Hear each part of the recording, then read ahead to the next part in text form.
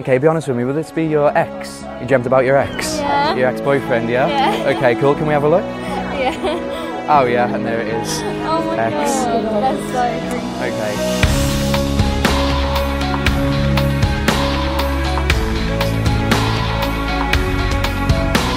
With Cassandra's dream, you tell your spectator that you can tell them something that they have dreamt about in the past, and you can also tell them something that they are going to dream about in the near future. You can do this just by touching the side of their face or just tapping their shoulder. I heard a story once about a woman who could borrow somebody's pillow, take it home and sleep on it for one night, and then bring it back to you the next day and tell you everything you dreamt about. Really, really weird. I've tried to teach myself a similar way of doing this, obviously without a pillow, but I can do this just by tapping you on the shoulder. Just by tapping you on the shoulder, I'm going to try and tell you something you've dreamt about and something you're going to dream about in the near future. This fits in your wallet, it just takes some pieces of paper or some billets. You can do this anywhere, this works in a bar, restaurant, park. You could even do this on stage for as many people as you want because this is all about the presentation and the performance. With this effect, there are no gimmicks involved. You can do this without any sleight of hand. All it takes is some pieces of paper and a pen and you're ready to go. Also in this routine, I teach you a very, very nice, very simple way of being able to predict which side your spectator sleeps on. Toss and turn quite a bit, but when you get settled, you, you sleep on this side? You do, yeah? Okay, okay.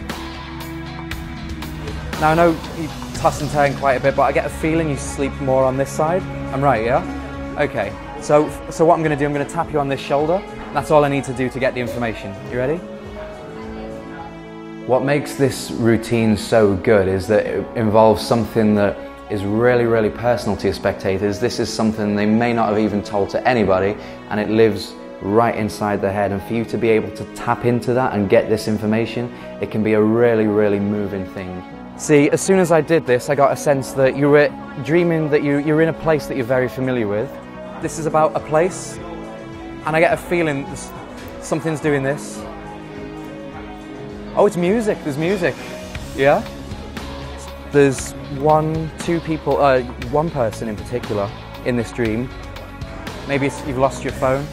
Oh, no, you haven't. It's worse than that. You, forg you forgot your clothes in this place, yeah? Okay, be honest with me. Will this be your ex? You dreamt about your ex? Your ex boyfriend, yeah? Yeah. Okay, cool. Can we have a look? Yeah. Oh, yeah, and there it is. Oh, this is a V. V first? Yeah? Can I have a look? Very quick, very, very easy to do, and this is one on one direct mind reading. And I did tell you, um, I was going to tell you something that you're going to dream about. So, what I want you to do, I mean, you can read this now if you want, or you can keep this folded up, don't look at it, wait until you get home and you're all settled and you're in bed, and just before you go to sleep, have a read. I've told you something you're gonna dream about. May not be tonight, might be tomorrow, but have a look tonight. It's something you're gonna dream about, and also what's gonna happen after you've had this dream. So it's gonna tell you what to look out for and what's gonna happen afterwards. And there you go. Oh. Thank you very much. That's really amazing. crazy. That's great. I am Lewis Le Val, and this is Cassandra's Dream.